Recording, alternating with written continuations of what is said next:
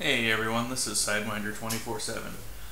Just wanted to drop a quick video. I just finished building my new gaming laptop, or sorry, reformatting it and reinstalling Windows to get rid of all the extra junk. But I was about to go through my normal desktop cleanup process and figured I'd share a video on it real quick. A couple friends and I had a conversation on Twitter and they had shown a bit of interest, so I hate desktop icons. I hate having a cluttered desktop. I've got friends that have hundreds of icons on their desktop. And they have to end up doing stuff like trying to find creative groupings for them and things like that so they can keep track of certain programs and where they are in groups of programs. So I'm just going to go over a couple things today that'll show you how to completely clean up your desktop plus still have access to all those applications very quickly. So the first thing we're going to do is we're going to hide the desktop icons, which is an easy piece that pretty much everybody knows how to do. But then we're also going to add menus to our desktop that give us access to all of those icons that we normally want. The reason most of my friends have so many icons on their desktop is because they don't want to get rid of or lose that convenience of easily accessing those applications quickly. So, just a few things. It'll be a pretty quick video. Uh, this will work on pretty much any version of Windows. I'm running Windows 7 Ultimate 64-bit. This will work on any version of Windows 7, any version of Windows Vista, and also Windows XP. So the first piece, fairly quickly, you can see that over here on the left-hand side of my screen I've got a bunch of icons. Now this is nothing compared to some of my friends. It's a new build, so there's not too much on this machine yet. But still, I want to go ahead and get rid of these. For hiding the icons, it's as simple as right-clicking on the desktop, going to View, and deselecting Show Desktop Icons. Now notice that in Windows 7, icons and gadgets are two completely separate things. So I can hide the icons while still keeping the gadgets available. If you notice on the upper right hand corner of my screen, I have a gadget that shows me what the current speed of my processor is. That way when Intel Turbo Boost kicks in, I have an idea of how fast the processor is going, things like that. So I can hide the icons while keeping the gadgets. I can also hide both if I want. Anyway, back to hiding the icons. So I'm going to right click on the desktop, hover over view, and then go and deselect show desktop icons. Boom, instant clean desktop. That way if you have a nice desktop background or wallpaper and you don't like having a bunch of icons on top of it, now you just have your nice neat desktop background. So now that we've gotten rid of the icons, we still want to keep that convenience of having them easily available. So the next piece is to actually create a couple menus on our desktop that will give us access to those icons. Now what's nice is pretty much all versions of Windows automatically create a menu for you that has all your desktop icons on it. It just doesn't show up by default. So what we're going to do is go down to our taskbar at the bottom of the screen, right click on it, choose the toolbars option, and notice there's a few default toolbars already built in. And I'm going to choose the desktop toolbar. So I've turned it on. And you might not notice too big of a difference right away, but if you look at the lower right hand corner of my screen down here, you'll notice that now there is a little menu that says desktop. If I click the arrows to open it, now I have access to all the shortcuts that were on my desktop.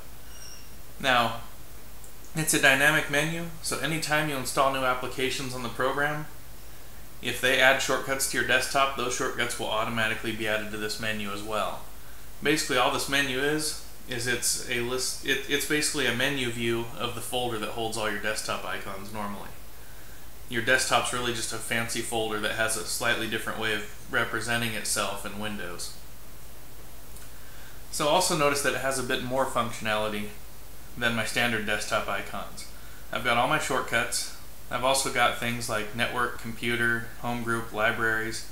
So it gives you even more functionality than what your desktop icons did because you have access to certain things that you'd normally have to go through the start menu for. So now I've cleaned up all the clutter on the desktop. I've got a menu on my desktop now that's out of the way. It's there when I need it. And it gives me access to all those applications that I would normally be trying to get to. Now in order to organize these so that you don't end up with a super huge menu, what we're going to do is create multiple menus. Say for example I want a menu that makes it easy to get to all the Microsoft Office applications. So what's nice about this is all these menus are again is a menu version of a folder. So all I need to do is find the folder that has all those Microsoft Office shortcuts in it and turn that into a menu. And it's actually fairly simple. The easiest way to find the Office folder is go to your Start menu and at that point you can either go to All Programs or you can just type in one of the Office programs on your Start menu. In my case I'll type in Word. Microsoft Word shows up at the top of the menu. I right click on it and I don't want to open Word, what I want to do is open the file location. I want to open the folder that has the shortcut to Word. So I hit open file location and now I've got the folder open that has the shortcuts to all my Microsoft Office products. Now again, all I really want is the path to this folder. So up here in the address bar, I see that it's on my C drive, Microsoft Windows, Start Menu, Programs, Microsoft Office. I don't want to remember all that, so I'm just going to click up here. I'm going to right click and copy that file path. Then I'm going to close this window.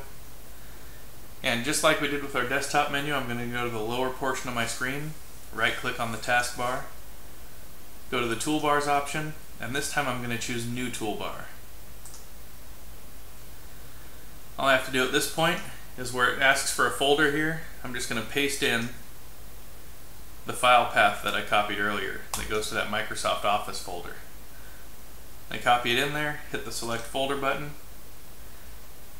and now I have a Microsoft Office menu down here on my desktop as well. If I open the menu, here's shortcuts to all the Office products.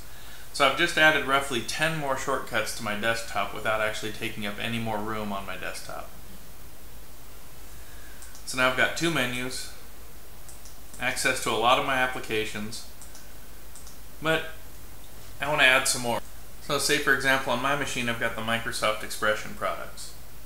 Now these give me a lot of tools for graphic design, things like that, so I tend to use them a lot. And in fact, that's what I'm using to create the screen captures uh, when we have Microsoft Expression screen capture. So I want to give myself quick access to these applications as well. Now, with these ones, it doesn't work quite the same way it did with Office. And what you'll notice is some groups of programs don't give you a convenient folder with all the shortcuts in them. So what you may need to do is create your own folder, put all the shortcuts you want in that folder, and then turn that into a menu. In this case, what I need to do, because if I right click on Expression Encoder here and go to, uh, nope, it doesn't even give me the option. Let me see, type in another one, Blend. If I right click on Expression Blend and choose Open File Location, Notice that I don't get my nice folder with all the shortcuts. What I get is all the actual application binaries, which I do not want in my menu. But an easy way to get to what I'm looking for is to open the Start menu, go to All Programs, and look for the folder here. So for example, I have Microsoft Expression. If I want to see what's in it, I can just click, and I see that, oh, well, this has shortcuts to all the Expression products. So what I'm going to do is right-click on that folder, choose open, and here's what I was looking for.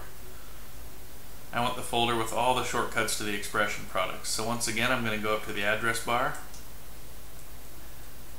click in there, that'll highlight the file path, right click on it, copy it, close the window, and then the same process we did before. Right click on the taskbar, go to toolbars, new toolbar, and paste in that path to that folder.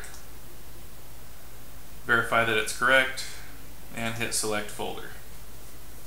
So now I've got three menus. I've got my desktop menu, I've got my Microsoft Office menu, and I've got my Expression menu. All of these give me quick access to the applications. It's all on my desktop, but without cluttering up the desktop, so I don't have to have a bunch of icons spread all over the place making a mess and dig through them all the time. So it gives me a much more efficient way of organizing all the applications that I want to get to on a regular basis without losing the convenience of having them all right there on your desktop. Now if I wanted to, I could create another one. Let's see, I'll go into my documents here. I'm going to right click, create a new folder, and I will call this one social media. Now what I would end up what I would end up doing with this folder is putting things in here, maybe like shortcuts to any instant messenger programs that I use, um, anything that I use for TweetDeck, uh, for Twitter, for Facebook, things like that. And I, again, this is a fresh build, so I don't have any of those applications on the laptop yet, but I just want to show how easy it is to create your own menu. So I've got my social media folder. I'm going to go ahead and let's see. I'll create a new text document. Call it test one. Drop that into my social media folder here. I'm going to open the social media folder. And the main reason I'm opening it is because I want to get the path to that folder again. So I'm going to go up to the address bar, click in here, copy the path to the folder, close the window, and again, back through the same process. Right click on the taskbar, go to toolbars, new toolbar, paste in the path to that folder I just created, and hit select folder. So now I've got a social media menu. At this point it only has a text file in it called test1, but that should show you how easy it is to create your own custom menus. The menu name is automatically going to be whatever the name of the folder was, and anything that's in that folder is going to show up on the menu. So this gives you a quick and easy way of organizing all your applications, keeping the convenience of having av available from your desktop without having a mess of icons all over the desktop. Anyway, that's all I wanted to share for today.